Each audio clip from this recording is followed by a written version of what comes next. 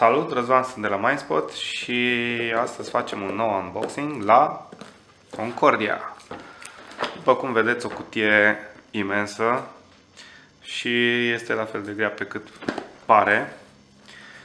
Bun, uh, deci, un joc pentru 2-5 jucători de la 13 ani, 90 de minute ca și durată. În urmă cu 2000 de ani, Imperiul Roman deținea ținuturile din jurul Mării Mediterane.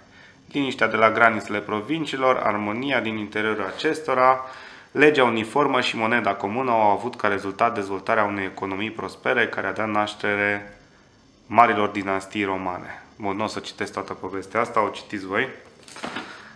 Bun, și haideți să desfacem.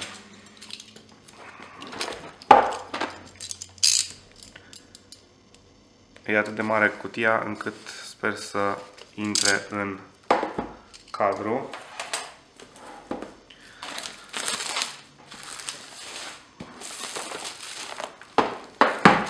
Bun. Mulți au zis că designul nu este prea fericit. Uh, dar cred că asta este o altă ediție și pare îmbunătățit cât de cât. Voi ce părere aveți? Bun, să desfacem Regulamentul. Ce avem aici? Un carton rapid. Pregătirea jocului. Pentru pregătirea jocului. Ok. Este foarte ok că apare așa ceva. Nu mai stai să răsfești tot regulamentul pentru setup. Îl pregătești rapid. Bun, no, acum sunt confuz. Am Concordia regulament și Concordia... A, următoarele pagini conțin informații istorice despre zeități, orașe, provincii și care joacă un rol în Concordia. Nice. Ceva lectură. Este și educativ. Super tare. Bun, și regulamentul... Două foi. Awesome, nu? Nu e lung, înseamnă că se poate învăța destul de ușor. Bun, și avem lăcile, bordurile punchable, trebuie să mă informez cum se numesc astea în limba română. Poate îmi spuneți voi. Sprinse cu banda aceasta de hârtie. Încerc să o scot întreaga. Nu știu de ce. Am reușit. Ok. Ce avem? Resursele. Unelte, pânză, vin, cărămizi, uh, tofân îmi vine să zic, grâu și bani.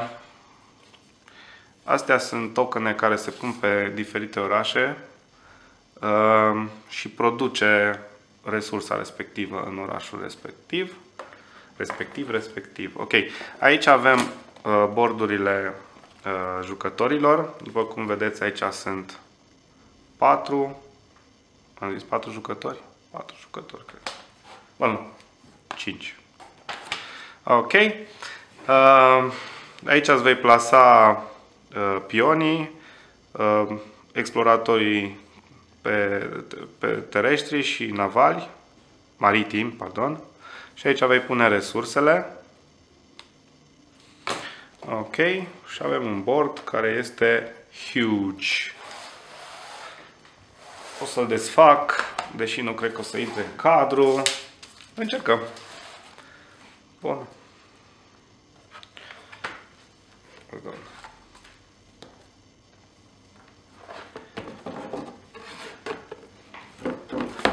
Nu l-am deschis eu bine de la început. Ok.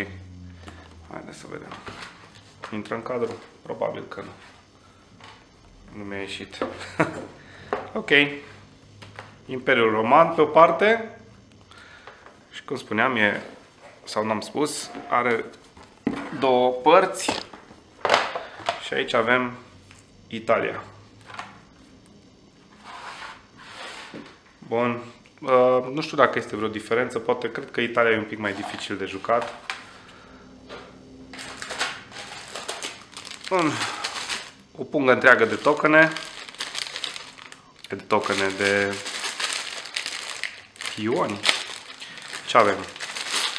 Hai să vedem. Cele câte resurse am zis? 1, 2, 3, 4, 5 resurse, pânză, cărămidă, grâu, unelte și ce mi-a scăpat ceva încă una. Asta am zis, unelte, a, vin. Uite la aici. Ok. Sunt din lemn, clasice. Bun, și fiecare jucător primește un explorator terestru, un explorator uh, maritim și case pe care le poate construi în orașele respective. Ok, foarte multe, o să fie distractiv să le sortăm. Ok. Și ce mai avem? Mai avem aici uh, cărțile jocului. Care tot jocul se învârte în, jocul, în jurul acestor cărți. Văd că nu are un sistem de desfacere, nu e nicio problemă. Ne desfacem cu cutter-ul. Am bătut soarele pe ecran, pe bord, sper să nu se, să se vadă bine. Ok, și dacă ne uităm pe spate, aici avem decul pentru fiecare jucător. Decurile sunt identice. Ok. Bun. Și restul, în afară de astea și cu asta, asta este, sunt cărțile Concordia care vin acolo sus, pe, nu știu dacă intră în cadru, ia să văd. Da, intră aici în cadru. Deci astea se vor pune aici sus și sunt uh, personaje care, fiecare personaj îți dă anumite abilități. De exemplu, arhitectul, mută-ți coloniștii. După aceea construiește în orașele adiacente col coloniștilor tăi. De construit vei construi casele acestea. Ok? Bun. Și nu știu dacă se vede, dar cărțile astea fiind puse aici, resursele care le vedeți aici trebuie să le plătiți pentru a lua cărți noi în mână.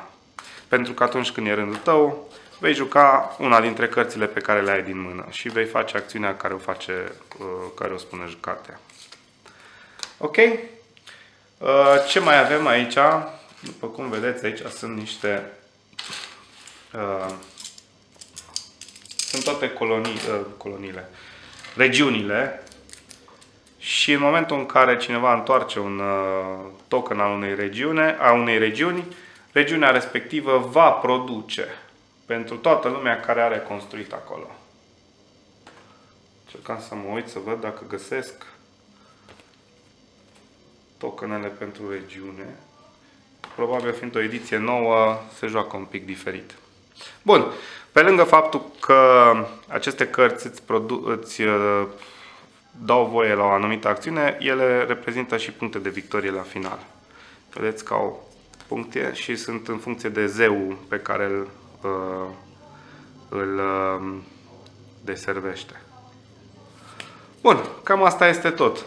Uh, overall, uh, nu are inserturi, dar are ceva de foarte ok. Sunt aceste, înainte, înăuntru avem pungulițe în care poți să sortezi resursele și personajele și atunci nu mai ai nevoie de inserturi.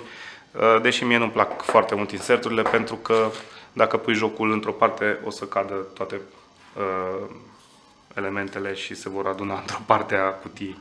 Mai bine cu pungulițe. Ok. Sper că v-a plăcut. Jocul este în ludotecă.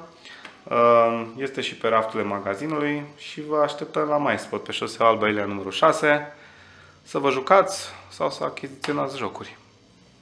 Salutare!